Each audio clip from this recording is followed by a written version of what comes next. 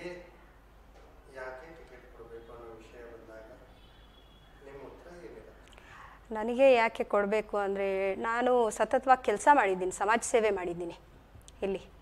ವಾರ್ಡಲ್ಲೇ ಅಂತ ಏನಿಲ್ಲ, ನಾನು ಚೊಕ್ಸಂದ್ರ ವಾರ್ಡಲ್ಲೇ ಮಾಡಿದ್ದೀನಿ ಅಂತ ಏನು ನಾನು ಗುರುತಿಸ್ಕೊಂಡಿಲ್ಲ.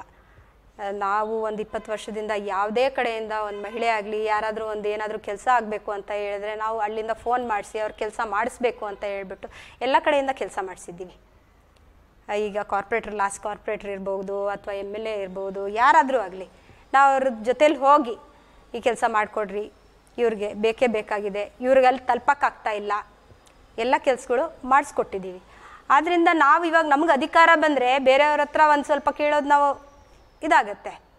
ನಾವಾಗ ನಾವೇ ನಿಂತು ಮಾಡ್ಬೋದು ಸ್ವತಃ. ಅಧಿಕಾರ ಇಲ್ಲದೆ ನಾವು ಏನೂ ಮಾಡೋಕ್ಕಾಗಲ್ಲ ಇವತ್ತು. ನಾವು ಬೇರೆಯವ್ರ ಹತ್ರ ಹೋಗಿ ಕೇಳಿ ಅವ್ರಿಗೂ ಒಂದು ಇದು ಮಾಡಬೇಕಾಗತ್ತೆ. ಅದಕ್ಕೋಸ್ಕರ ಈ ಸಲ ನನಗೆ ಅಧಿಕಾರ ಬರಲಿ ನಾನು ಒಂದು ಇದು ಮಾಡಿ ಒಂದು ನಮ್ಮ ವಾರ್ಡನ್ನು ಬೆಳೆಸಬೇಕು ಎಲ್ಲ ಅಂತ ಹೇಳಿಬಿಟ್ಟು ನಾನು ಕಾರ್ಪೊರೇಟ್ರಿಗೆ ಇದು ಮಾಡ್ತಾ ಇದ್ದೀನಿ. ಹೌದು ಬಂದೇ ಬರುತ್ತೆ.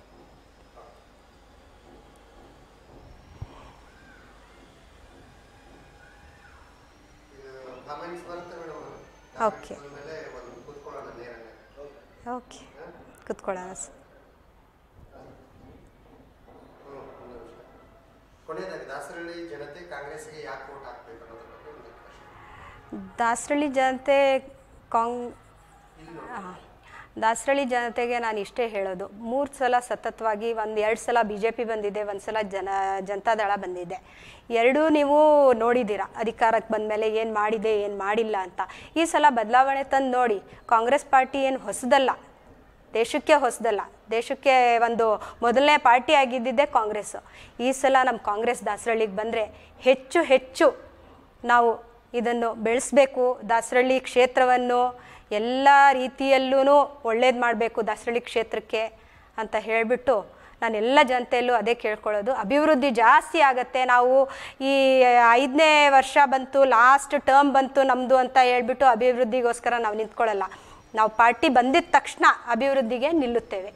ಅದಕ್ಕೋಸ್ಕರ ಈ ಸಲ ಕಾಂಗ್ರೆಸ್ ಪಾರ್ಟಿ ನಮ್ಮ ದಾಸರಳ್ಳಿ ಕ್ಷೇತ್ರಕ್ಕೆ ಬರಲಿ ಅಂತ ನಾನು ಎಲ್ಲ ಜನತೆಯಲ್ಲೂ ಕೇಳ್ಕೊತೀನಿ. ದಯಮಾಡಿ ಈ ಸಲ ಕಾಂಗ್ರೆಸ್ಸನ್ನು ಗೆಲ್ಲಿಸ್ಕೊಡಿ ಥ್ಯಾಂಕ್ ಯು